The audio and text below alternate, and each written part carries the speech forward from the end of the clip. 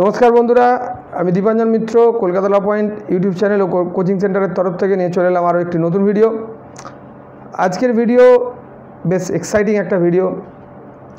আজকের ভিডিওর মূল বিষয়বস্তু হচ্ছে প্রাইভেট ল কলেজগুলোর মধ্যে কলকাতা ইউনিভার্সিটির কোন কলেজকে আমরা বেস্ট কলেজ বলতে পারি। তো এই বেস্ট কলেজ বলাটা বেশ একটা চাপের কাজ, যদিও ক্যালকাটা ইউনিভার্সিটি এর কোনো মানে র্যাঙ্কিং তো বের করে না, যেটা এনএলইউ বছরে বছর বের করে, প্রত্যেক বছরই কনসোর্টিয়াম অফ এনএলইউস একটা র্যাঙ্কিং বের করে লাস্ট ইয়ারের ভিত্তিতে কোন ইউনিভার্সিটি কত নম্বরে আছে সেই ব্যাপারে। তো এখানে কয়েকটা প্যারামিটারের ভিত্তিতে আমি আমার এক এটা একান্তই আমার ব্যক্তিগত মতামত, কারোর মানে এর বিরুদ্ধ মত থাকতেই পারে, সেখানে কোনো সমস্যা নেই, কিন্তু এটা আমার মনে হয়। তো আমার সেই হিসেবে ব্যক্তিগত ধারণা আমি তোমাদের সাথে শেয়ার করছি। তো কয়েকটি প্যারামিটারের কথা বলব, যেটার ভিত্তিতে আমি কলেজগুলিকে মানে আইডেন্টিফাই করার চেষ্টা করেছি, যে কোন ক্ষেত্রে ভালো বা খারাপ বা কিছু। খারাপ অ্যাকচুয়ালি কেউই নয়, তো হয়তো উনিশ বিশ ডিফারেন্স কারও থাকতে পারে, তো সেই ডিফারেন্সগুলো আমি হাইলাইট করার চেষ্টা করেছি। তো প্রথম কথা, এক নম্বর পয়েন্ট যে কলেজের ফি স্ট্রাকচার এক। দুই, কলেজের হচ্ছে টাইমিংস এবং কলেজের রেগুলারিটি মানে নাম্বার অফ ক্লাসেস কতগুলো থাকে, কতগুলো হয়, ইত্যাদি। নাম্বার থ্রি দ্য লাইব্রেরি লাইব্রেরিটা কতটা এনরিচড কত রকম ভ্যারাইটি বই পাওয়া যায়, কী সিস্টেমে বই পাওয়া যায়।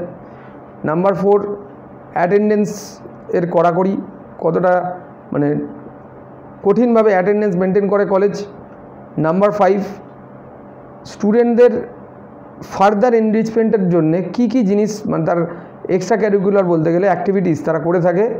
এবং মোস্ট ইম্পর্টেন্টলি যেটা দেখতে হবে যে সিক্স সেমে আমরা জানি বিএলএলবি অনার্স বলে একটা বস্তু আছে।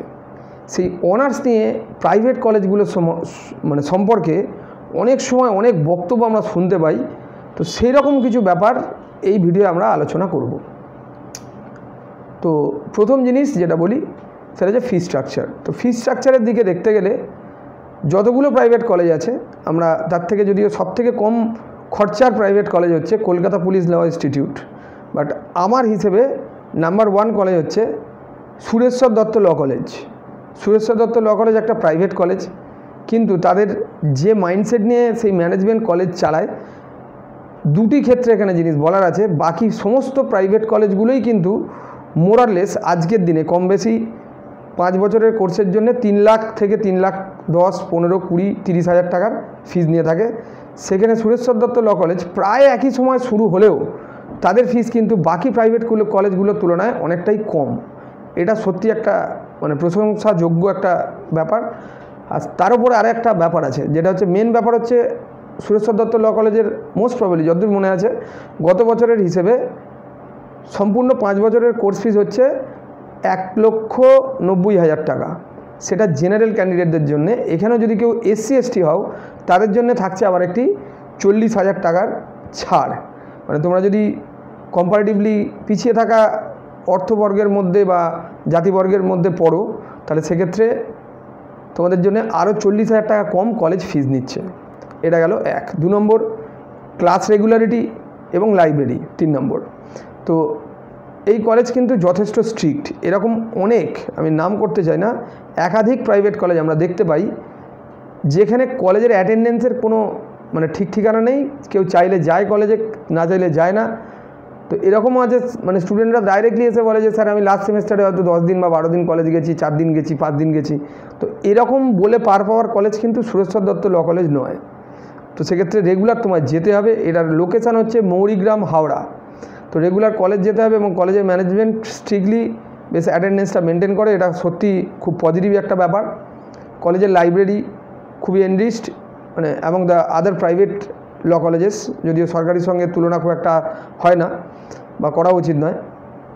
তো লাইব্রেরিও বেশ এনরিচড এবং ক্লাস টাইমিং অ্যাটেন্ডেন্স খুব স্ট্রিক্ট তারপরে আসছি ভবিষ্যৎ মানে এক্সট্রা ক্যারিকুলার অ্যাক্টিভিটিস এবং অনার্স সম্পর্কিত আলোচনা। এক্সট্রা কারিকুলার অ্যাক্টিভিটিসের মধ্যে মক পার্লামেন্ট ডিবেট এবং মুড কোর্ট যদি সব থেকে রেগুলার কোনো কলেজে হয়ে থাকে, তাহলে হচ্ছে সেটা সুরেশ্বর দত্ত ল কলেজ এটা একদম নির্দ্বিধায় আমি বলতে পারি। তো ওই কলেজের ঠিক পাশেই আমাদের একটি সেন্টারও আছে। তো সেইখানে সেই কলেজের স্টুডেন্টরা পড়ে এবং বাকি কলেজদের থেকে সেই কলেজের যে স্টুডেন্টদের ডিফারেন্স সেটা খুব সহজেই চোখে পড়ে। তো এছাড়া আসছি last and one of the most important points চারটে সেমেস্টারের করার রেজাল্ট এবং উচ্চ মাধ্যমিকে পাওয়া নাম্বারের ভিত্তিতে বিএলএলবি অনার্স পাওয়ার একটা অপশান থাকে। যদি কোনো স্টুডেন্ট অনার্স পায় প্রাইভেট কলেজ থেকে, তাহলে সেই স্টুডেন্ট সরাসরি সরকারি কলেজে ট্রান্সফার হয়ে যাওয়ার একটা সুযোগ পায়। এক্ষেত্রে একটা খুব পজিটিভ জিনিস, যেটা সুরেশ্বর দত্ত ল কলেজ চিরকাল করে এসেছে, আমার দেখা গত বছর অবধি ইভেন এই বছর অবধি যে যারা যে স্টুডেন্টরা অনার্সে অ্যাপ্লিকেশান দিতে চায়, তাদেরকে ওপেন মানে প্রমোট করা হয় হ্যাঁ তোমরা অ্যাপ্লাই করো। তোমরা অনার্স পেলে কলেজের নাম উজ্জ্বল হবে। এবং তার থেকেও বড় কথা, অনেক প্রাইভেট কলেজ আছে যারা সিক্স সেমেস্টারের ফিস যে সেমেস্টার থেকে অনার্স শুরু হয়, সেই সেমেস্টারের ফিস কিন্তু পুরনো কলেজে দিয়ে আসে এবং সেই কলেজ সেই ফিসটার স্টুডেন্টদেরকে ফেরত দেয় না। যদিও কিন্তু এটা কিন্তু একদম স্পষ্ট করে অনার্সের ভর্তির যে রেগুলেশন তাতে লেখা থাকে fees of six semester to be paid in the destination college destination college মানে স্টুডেন্ট যেই কলেজে চলে যাচ্ছে, সেই কলেজে গিয়ে সে সিক্স সেমেস্টারের ফিস পে করবে। তার মানেটা হলো এই যে সে পুরনো কলেজে সিক্স সেমেস্টারের ফিস পে করবে না। এক্ষেত্রে সুরেশ্বর দত্ত ল কলেজ কিন্তু একটা জ্বলন্ত দৃষ্টান্ত। তার কারণ, এই কলেজ শুধু ছেলে মেয়েদেরকে অনার্স পাওয়ার জন্যে মোটিভেটই করে না, সাথে তোমার হচ্ছে ওই যে ফিস যদি তারা কারোর থেকে নিয়েও নিয়ে থাকে, তাদেরকে ডেকে ফেরত দিয়ে দেয়। এরকম উদাহরণ আমি দ্বিতীয় কোনো কলেজে দেখিনি।